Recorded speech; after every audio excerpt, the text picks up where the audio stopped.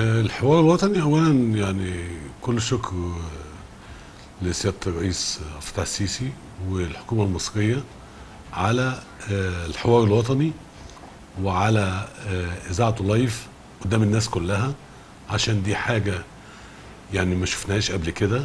كان الحاجات دي كلها بتبقى يعني قبل كده في ما حدش بيشوفها محدش عارف مين بيقول إيه. لا ده حوار وطني فعلا.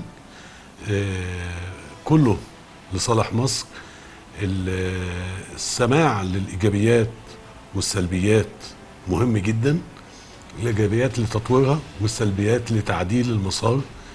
فقدام الناس كلها قدام العالم كله إنك أنت بتقول إن إحنا عندنا إيه إيجابي بنطوره عندنا إيه سلبي وإزاي إن إحنا آه نتلافى السلبيات دي. دي كانت أهم حاجة في الحوار الوطني. من ساعة ما سيادة الرئيس قال رياضة أمن قومي وبدأ ال- وزارة الشباب والرياضة والدكتور أشرف صبحي وزير الشباب والرياضة في نهج يعني إيه رياضة أمن قومي؟ وبدأنا نشتغل على الملف ده. آه، في طبعا إيجابيات حاصلة في الفترة دي كبيرة جدا وفي بعض الحاجات لو طورناها إن شاء الله هتفيد جدا. هتكلم الأول على أكبر إيجابيات ساعدت إن زي بطولة زي الأندية الأفريقية دي وال NBA وكده إنه يجي مصر ويفتح مكتب NBA في مصر وإقامة البطولات دي في مصر.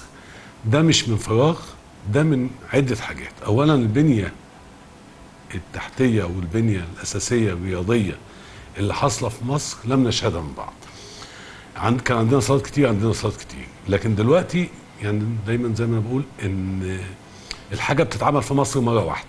يعني إيه مرة واحدة؟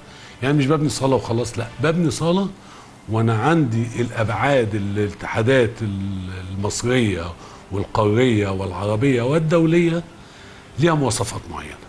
المواصفات دي موجودة في الحاجة اللي بتحصل دلوقتي موجودة.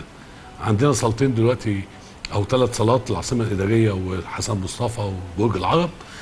حاجة الناس لما جت اتوهمت بالصالات دي بالتفاصيل بتاعتها الفاسيلتيز نفسها مفيش حاجة بتطلب من أي جهة إلا موجودة جوه الصالة.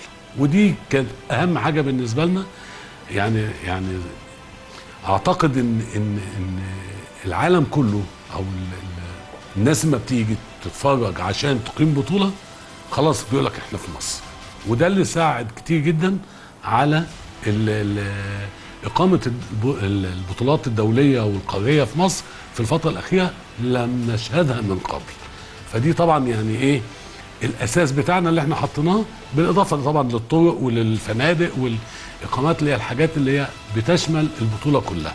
فأصبح إن إحنا عندنا كل البطولات بتقام في مصر لما تشوف الصالة وهي فيها جمهور أفريقي زي جمهور مصري بالمنظر اللي كنا فيه ده يعني لما أقول بطولة زي دي عملت إيه لمصر؟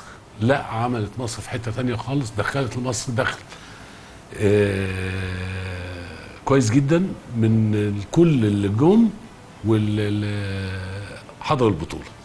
فدي للأساس.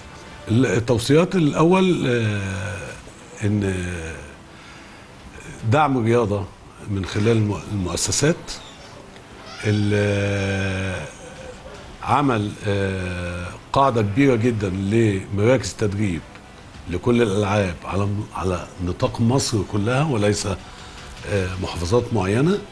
ودي إحنا اشتغلنا فعلا فيها مع وزارة الشباب والرياضة ومشروع ال- ال- الموهبة الرياضية. ده عامل شغل كويس جدا. لازم المشروع ده كمان يتطور أكتر من كده وهيساعد كتير جدا على انتشار الرياضة في كل ربوع مصر. إن إحنا ما نسيبش أي حتة في مصر غير ما نختار منها الموهوبين بالإضافة إن الرياضة هتساعد الشباب جدا على البعد عن أي شيء مش كويس وهتنمي فيهم روح الانتماء والولاء. أقول لهم شكرا على هذا الحوار. بالتوفيق يا رب إحنا كلنا بنعمل من أجل مصر. أنتوا وضحتوا الرؤية للناس كلها إن مفيش أي حاجة بتستخبى عن الشعب المصري وإن إحنا قادرين على مواجهة مشاكلنا. هو بص إحنا بنشتغل على حاجتين يمكن أنا قلت على آه، الاستثمار في حاجة. الاستثمار في الإنسان هو أعلى استثمار. فأنا عشان أستثمر الشباب بستثمر من من هو لسه صغير إن أنا ببنيه بنية متكاملة أو يعني زي ما بنقول إن هو بناء شخصية متكاملة وده أكتر شيء ممكن تؤثر فيه هي الرياضة. من خلال ممارسة الرياضة بيتم التنمية الشاملة المتكاملة للإنسان. فهنا أصبح إن أنا بلعبه رياضة بنميه بعمل له تربية شاملة بيطلع شاب آه، زي ما بنقول آه، يعني متكامل الشخصية أقدر إن أنا فعلا يبقى أنا استثمرت صح ومن هنا بمكن الشباب لأن أنا مش همكن شاب آه، يعني ناقصه أي حاجة في تكوين الشخصية. لا أنا بكون شخصية الولد عشان يطلع شاب متكامل عشان يبقى فيه تمكين الشباب فعلا شاب متكامل يقدر إن هو يبقى آه، قد المسؤولية اللي أنا هحطها عليه. منتظر منهم الفكر أنا يعني يمكن أنا دايما بحب فكر الشباب. فكر الشباب إن كان بعض يعني بيبقى عنده طموحات أكتر من الواقع مع الشباب مع الخبرة بتقدر إنك أنت ت يعني تفلتر فكره وتقدر إنك أنت توجهه وتقول له آه دي ممكن تحصل. ودي تحصل على مراحل ودي تحصل دلوقتي. فمن هنا فكر الشباب لا لازم أسمعه كويس جدا ولازم أهتم بآرائه كويس جدا لأن هو بيبقى عنده أفكار فعلا ممكن يعني إيه تخلينا إن إحنا نغير تفكيرنا ونبدأ نفكر في حاجة جديدة. لا فكر الشباب أنا بحترمه جدا جدا جدا.